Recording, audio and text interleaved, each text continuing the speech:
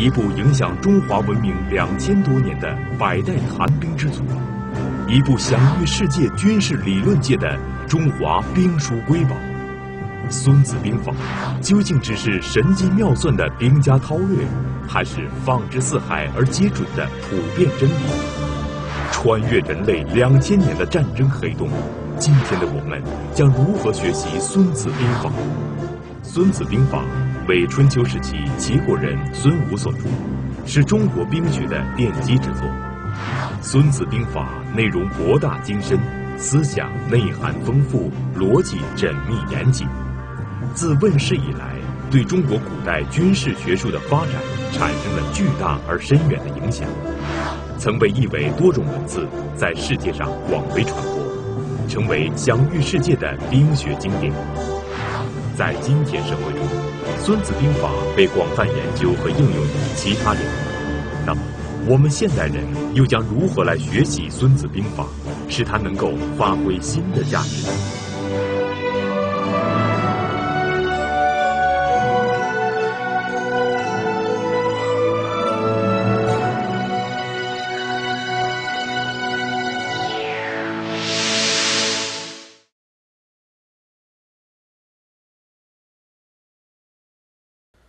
亲爱的同学们，今天我们讲《孙子兵法》的武功篇。这一篇呢是《孙子兵法》最核心内容的一篇。我们平常每个人谈到的“夫不战而屈人之兵，善自善者也”，来自于此篇。那我们先看一下原文。孙子曰：“凡用兵之法，全国为上，破国次之；全军为上，破军次之；全旅为上，破旅次之；全卒为上，破卒次之；全武为上。”破武次之，是故百战百胜，非善自善者也；不战而屈人之兵，善自善者也。孙武先生为什么谈到军、旅、卒这些这么多的概念，然后阐述一个理念呢？就是说，在作战的时候，不要指望和敌人打了好多仗以后，敌人死伤了好多，我们也死伤了好多，然后取胜，这不是好的原则。我们考虑的是最好的办法。是用谋略来战胜敌人，不战而屈人之兵，不通过打仗来获取胜利，这才是最重要的。这也就是我们能通过外交，能通过谈判来获取我们的利益，从而不用作战，这是最高明的。大家知道，一般作战来说，先就是制定战略，同时第二能用外交的方法来取胜，这样就可以不用兵而获得利益。所以，孙子谈到了三个原则：故上兵伐谋，其次发交，其次发兵，其下攻城。攻城之法为不得已。修楼逢温，据细见，三月而后成；据阴，又三月而后已。将不胜其锋而义复之，杀死三分之一而城不拔者，此公子哉也。一个什么原则呢？能通过谋略，尽可能通过战略。的方式来获得胜利，这样用外交的方式，大家都知道周忌封齐王纳谏这个故事。周忌当时作为齐威王时期的丞相，他自己认为自己长得很帅很漂亮。有一次，他问他自己的妻子说：“你觉得我长得漂亮吗？”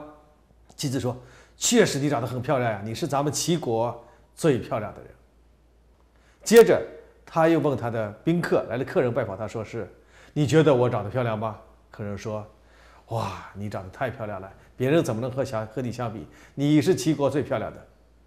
这时候他又问他的小妾，也就是当时的呃丫鬟这样的人，他说是哎，你看我长得怎么样？他说哇，先生你是齐国最漂亮的人。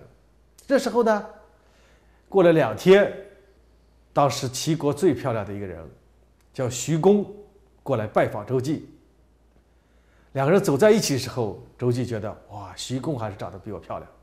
这时候他马上进朝廷里边，见到了齐威王，就说：“我自己认为很漂亮，但同时我问我的妻妾和宾客的时候，他们都误认为我很漂亮。但是我自己看了咱们齐国最漂亮徐公以后，我觉得不如。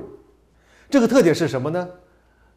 是您在朝廷里边一切反对意见都听不到。”你周围的嫔妃、皇后这些人都认为你是长得最帅、最漂亮的。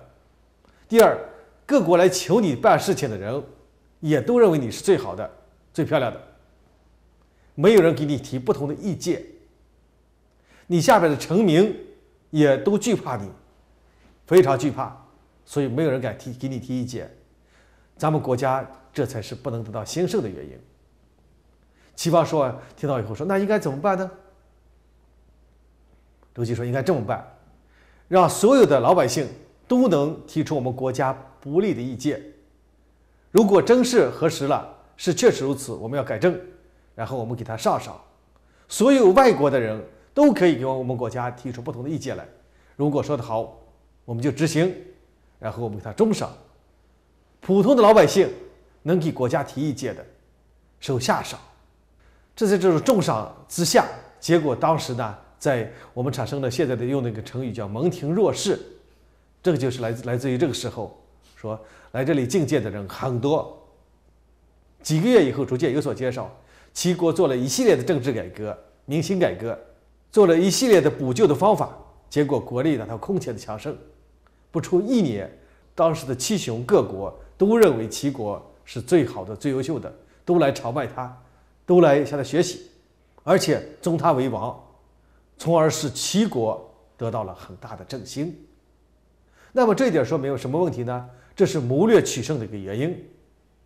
现在作为各国的统治者，从来都认为是自己是最好的、最优秀的，听不到不同的意见，下边人也不敢说不同的意见。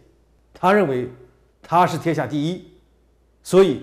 国家得不到发展，甚至有个别国家，网络上老百姓提意见，也要马上删掉，这都是不好的行为。其实每一个人也好，每一个社会也好，都可能有不足的地方，都可能有不完善的原因，不断的修正自己的错误，人生才能获得发展，才能变得品质良好，才能建功立业。所以说，修正自己的缺点，在松子这点讲的非常好。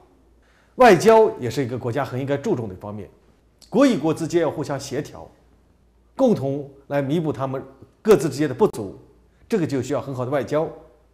所以说，每个国家的外交部长很重要，他可以沟通国与国之间不完善的地方，从而达到两个国家亲密无间。有些国家也是因为外交做得不好而非常的孤立，所以我们希望就是一个国家只有把外交做好，谋略做好。才不用去去起兵打仗，从而有很好的时间来发展经济。孙子说：“故善用兵者，屈人之兵而非战也，拔人之城而非攻也，毁人之国而非久也，必全增于天下。故兵不动而利可全，此谋攻之法也。”就是我们尽量能不用出动军队，能用简单的方式使敌人屈服，全军全国全旅屈服于我们。这样我们才是最高明的。接着，宋子谈到：故用兵之法，实则为之，武则攻之，备则分之，敌则能战之，少则能逃之，不弱则能避之。故小敌之坚，大敌之情也。就是说，如果我们有十倍的力量去进攻敌人，那么我们就可以包围他，从而取得胜利；五倍的力量，我们可以把它分割包围。敌则能战。如果说我们力量相当，就可以和他正面交战。我们不如敌人的时候，一定要逃避敌人的正面攻击，从而从侧翼或者其他方法攻击来获得胜利。有些时候，小股的敌人使劲的坚守，就会成为大敌的俘虏，这也是应该非常注意的事情。夫将之，国之福也；辅周则国必强，辅谢则国必弱。这谈到一个将领，包括国家的大臣，一定要把国家辅佐好，用自己的才华，用自己的能力把国家辅佐好。